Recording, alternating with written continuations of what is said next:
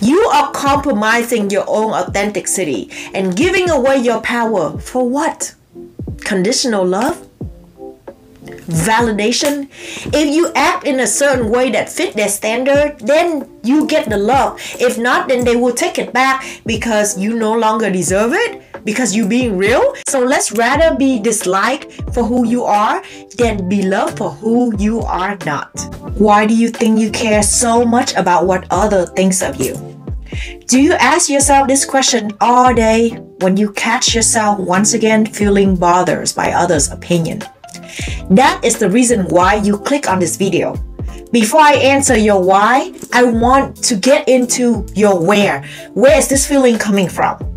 Before you tell me that it's obviously come from others around who won't stop having opinions about you, let's think deeper. People will always have their opinions. It would be funny if we live in a world where everyone agrees with each other and there's only one way of thinking, don't you think? I'm not talking about wrong or right, just different opinions. But when the other person gives you negative feedback, you feel deeply hurt and decide to do what it takes to please the others. So, how do we train ourselves to have such a thick wall where we don't let the other's opinion define who we are. First, I want you to acknowledge that this feeling comes from our own traumas, past experiences, and what we are programmed in our mind.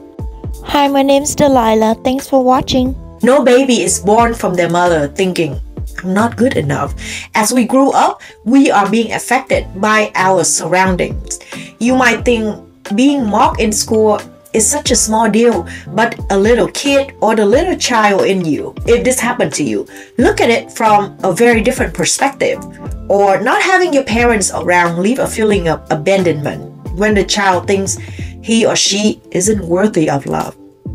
This is the part when we start put on a mask and try to measure up to where we should be. We start to hide away our authentic self. Stop expressing our truth. If you continue chasing an image so that you can be accepted by others around you, so that they can praise you and give you the validation that you crave for, I'm sorry to break this down to you, honey, but you will never be happy and fulfilled. Instead, you will lose yourself and your freedom. You will end up in resentment because you will never be good enough. So, what if someone doesn't like the way you dress, how you color your hair, or even how your voice sound? Imagine forcing yourself to dress differently, to speak softer, to change the hair color that you think others will approve more of, of you, and you will blend in like the rest of the people so they don't look at you differently. How long do you think that will last? This is my own experience, my true experience. Believe me, if they treat you nicer based on what fit their standard, the outer appearances, do you think that they really like you for who you truly are? They like the person that you getting into the character as, but deep inside, you are feeling trapped because you constantly has to keep up with the image for their conditional love until you can't take it anymore and decided to break free to show your authentic and true self. What do you think they will think now? They think that you've changed, that you no longer the person they thought you were. So then they stop respecting you and turn their back on you. Tell me, isn't this worse? You will end up being disapproved of anyways. So let's rather be disliked for who you are than be loved for who you are not. Also, please stop trying to dig into why and how can the other person not like you, your style, your authenticity. Like I mentioned, we all have different upbringings. You don't know what makes them insecure, how they project their thinking and expectation on you. For example, okay, it could be that someone they knew in the past dress like the way you dress, like your style, speak like you, took their first love away or something like that. Hypothetically, they can't get over their own drama, and the minute they encounter with you, they just already made up their mind about you that they don't like you. That is not your problem. You are not responsible for other people's wounds, especially if they haven't worked on themselves. You instead bend over, head over heel, try to gain their love and approval. Who do you think will end up hurt in this situation? You are compromising your own authenticity and giving away your power for what? Conditional love?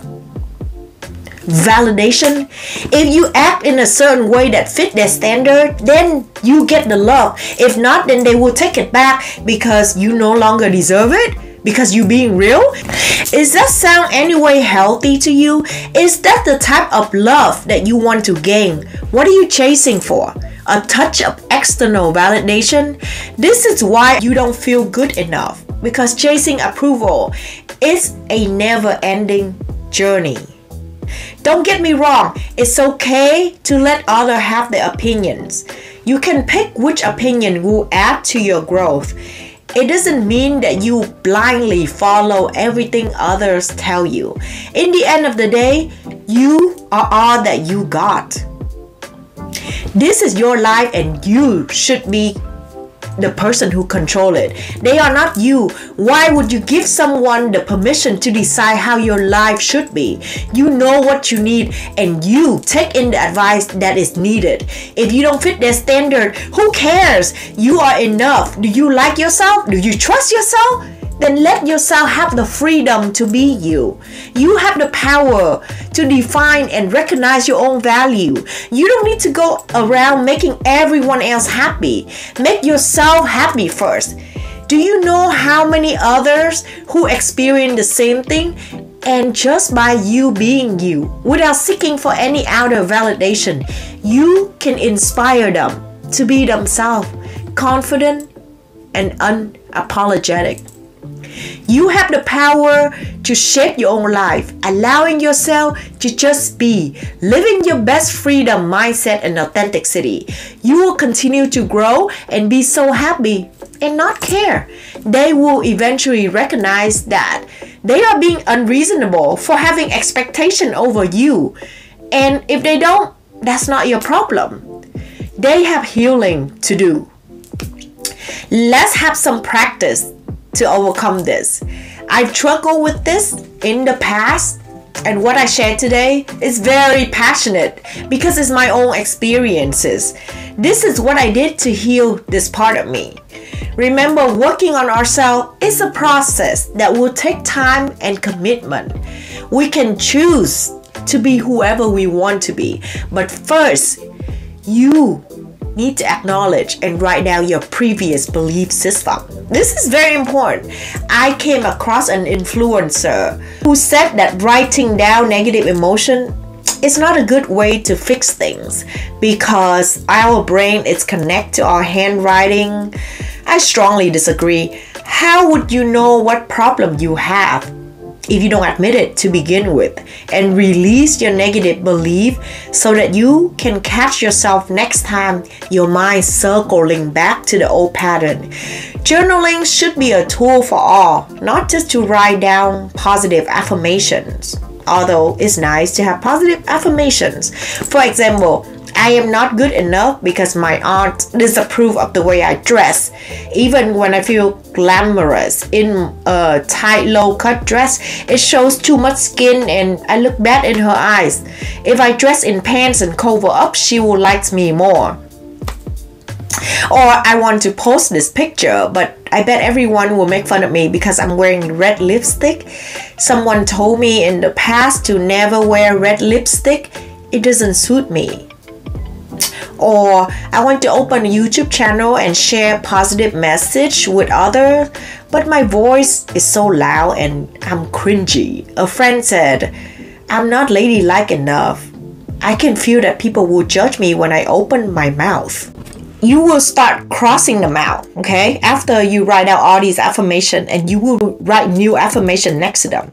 I like this dress and I will put it on me. My aunt doesn't have to like it and that's okay. I like it and that's all that matters. I have the right to dress how I like as long as it's not inappropriate or harming anyone. I like red lipstick on me and I know I look good in it.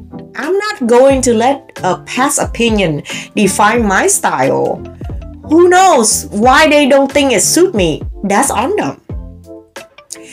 Third one, I am expressive and my focus of opening the YouTube channel is to share my message. I am unique and there's only one of me. There's only one voice it's my voice. I am speaking truth and I am being authentic.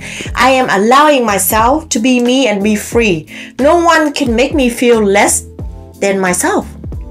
Reread them and see how they change the way you think. Repeat them as many times as you can. The last step is to write a letter to yourself. Let you know what you love and appreciate about you.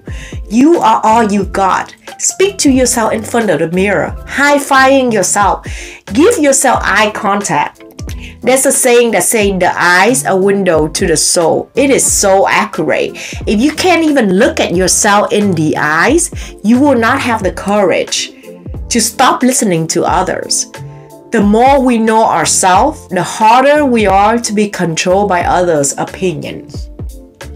Today I am sharing this because I would never imagine myself speaking like this, let alone making funny skits.